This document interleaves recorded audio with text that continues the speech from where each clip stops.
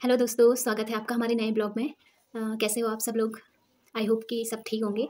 तो मैं भी बहुत अच्छी हूँ और आज मैं आपको दिखाऊँगी गोपेश्वर मेला।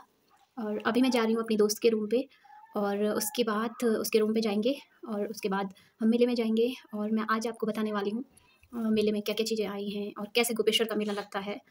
तो आप बने रहिए हमारे साथ। तो दोस्तों मैं पहुँच चुकी हूँ अपनी दोस्त के रूम पे और ये है मिस और ये अभी मुँह धो रही है और अभी इसने ब्रश किया है। जब मैं पे आई तब इसने ब्रश किया मुँह धोया और मेरे लिए बना रखी उसने चाय और समोसे डाल के हैं। बाकी उसने भात भी बना रखा मेरे लिए और दाल दाल भी बना दी है। तो मिस शशि कुछ बोलना चाहोगे? चाहेंगे मतलब? जी नहीं हमारे चैनल को शेयर करें। लाइक करें शेयर करें वो ऐसा बोलना चाह रही है ठीक है? तो अभी वो तैयार नहीं हो रही है इसलिए वो कैमरा पर नहीं आना चाह रही है। तो जब वो मेला में जाएगी तो मैं आपको दिखाऊँगी वो कैसे तैयार हो रही है और फिर मेला दिखाऊँगी कि मेले में क्या क्या चीज़ें हैं क्या क्या आ रखी हैं। तो आज मैं आपको दिखाने वाली हूँ गोपेश्वर मेला। तो आप बने रहिए हमारे साथ ओके तो अभी खा रहे हैं हम भात जैसे कि आप देख सकते हो काफ़ी टेस्टी बना रखा है सची ने और ये है सलाद। और पढ़ाकू लोग ऐसे होते हैं ये देखिए सब बुक्स वगैरह यहाँ पे रखी हुई है। ऐसा कुछ भी नहीं है वो तो टेंशन की वजह से लगा कि मैंने यहाँ बुक्स नहीं बहुत पढ़ाकू लड़की है वो। और वहाँ पे टाइम टेबल भी बना रखा है जैसे कि आप देख सकते हैं। ये। तो आप लगा सकते हो कि ये ये कितनी खतरनाक बच्ची है कि कितना पढ़ती है। सुबह चार बजे उठ जाती है और ग्यारह बारह बजे सोती है। कितने बजे सोती? है जल्दी सो जाती हूँ नौ बजे। तो नहीं सोते होंगे यार दस साढ़े दस। टाइम से सोती है वो टाइम से साढ़े दस तक सोती है और उठ जाती है सुबह चार बजे और पढ़ाई करती है, जैसे कि आप देख सकते हो उसकी बुक्स तो आप बने रहिए हमारे साथ आगे आगे दिखाती हूँ आपको।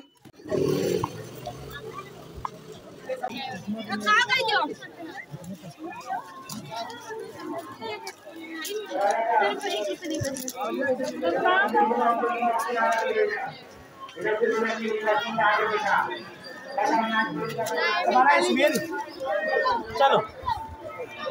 तो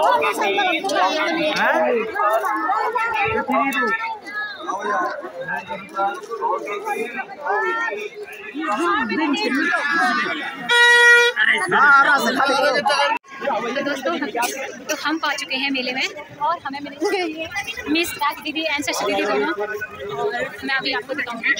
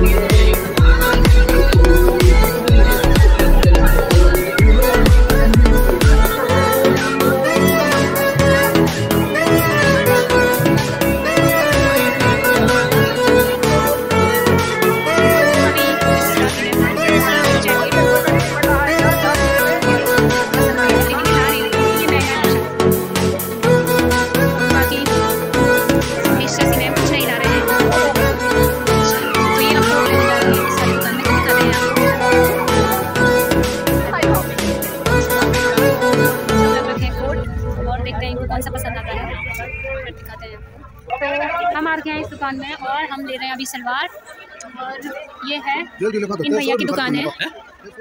इन वाले भैया की दुकान है और हम यहाँ पे सलवार ला रहे हैं। अगर आपको भी लाना है तो आप भी आ जाइए यहाँ पे।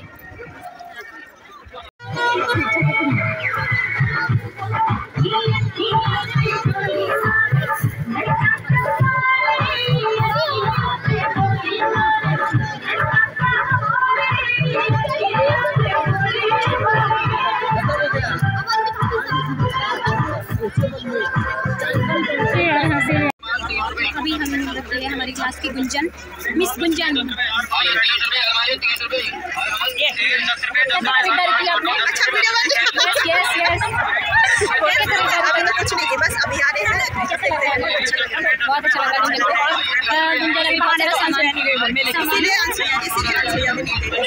मेले में आने के लिए तो दोस्तों फाइनली मैं पहुँच चुकी हूँ घर में।